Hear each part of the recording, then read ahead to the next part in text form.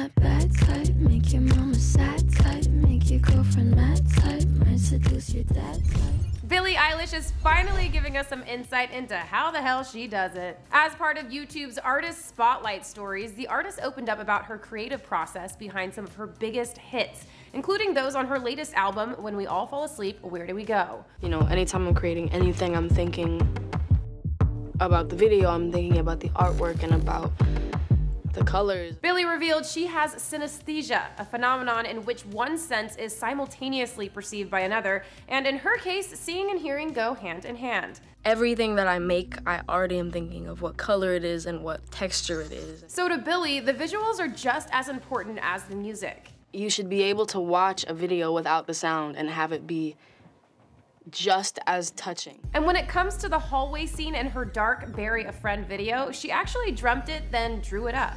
When I have a crazy dream, or if I just have a thought in the middle of the night, I will sit up, whether the light is on or whether the light is off.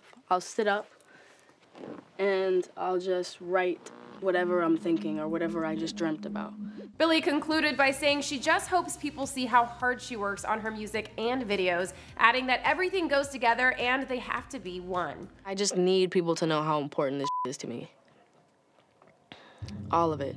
To check out the full clip, head to billboard.com. And until next time for Billboard News, it's your girl, Jordyn Rolling.